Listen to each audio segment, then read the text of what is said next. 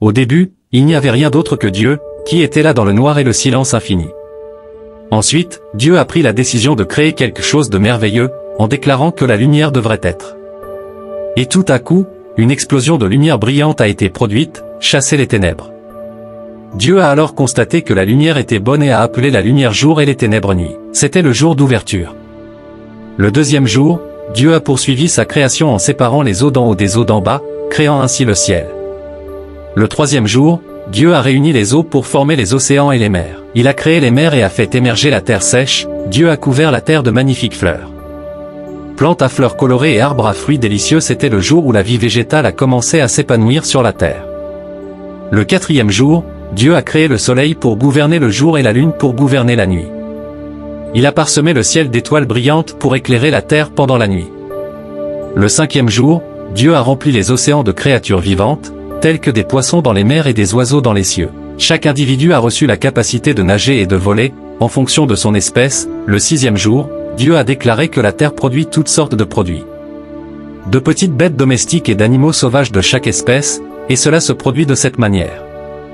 Le Seigneur Dieu crée les diverses espèces de rongeurs, les animaux sauvages, les animaux domestiques et les petites bêtes.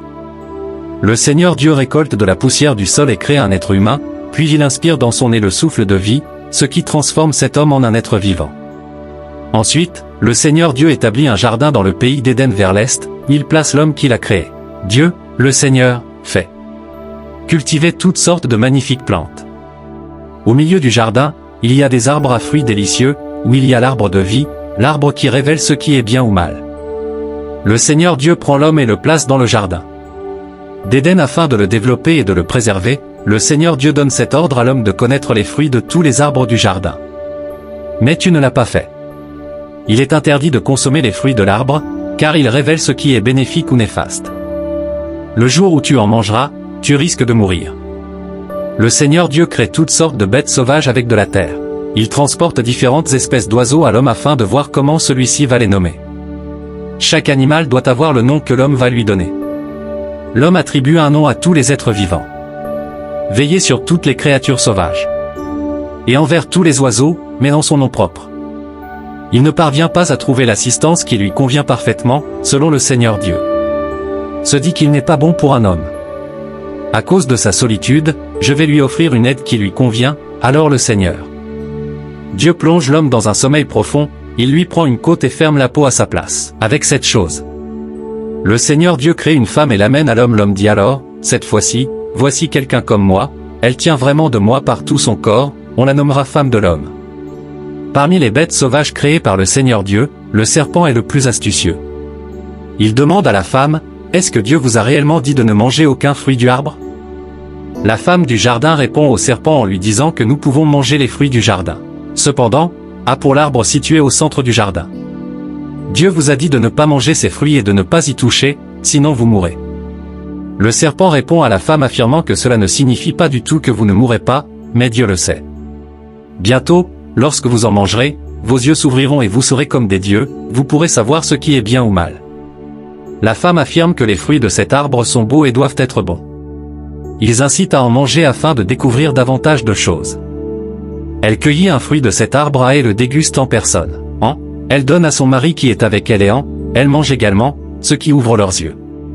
En fin de journée, un léger vent se met à souffler, entraînant le Seigneur Dieu dans le jardin. L'homme et la femme l'entendent, puis ils se dissimulent devant lui parmi les arbres du jardin. Le Seigneur Dieu appelle l'homme et lui pose la question suivante, Où es-tu? L'homme répond, J'ai entendu ton nom dans le jardin, j'ai été effrayé car je suis nu, donc je me suis caché devant le Seigneur Dieu, il lui demande qui t'a informé que tu étais. Est-ce que tu as dégusté le fruit que je t'avais interdit de manger? Le Seigneur Dieu dit à la femme que tu m'as donné que c'est elle qui m'a donné ce fruit et que j'en ai mangé. Que as-tu accompli ici? La personne féminine. Le serpent m'a trompé et j'ai mangé du fruit, répond-il à. Les vêtements en peau d'animal sont fabriqués par le Seigneur Dieu pour l'homme et la femme, et ils sont habillés de cette manière. Le Seigneur Dieu se dit, eh bien. Maintenant, l'homme est devenu comme un Dieu, il sait ce qui est bien ou mal, il ne faut pas qu'il prenne également. Les s'il mangeait les fruits de l'arbre de la vie, il vivrait éternellement. Ainsi, le Seigneur Dieu chasse l'homme du jardin d'Éden et l'envoie cultiver la terre qui a été utilisée pour cela. Après avoir chassé l'homme, il met des chérubins à l'est du jardin d'Éden, avec une épée de feu qui tourne dans tous les sens. Ces chérubins gardent l'entrée du chemin qui mène à l'arbre de la vie. N'oubliez pas de liker, commenter et vous abonner pour plus d'histoires engageantes comme celle-ci. Merci.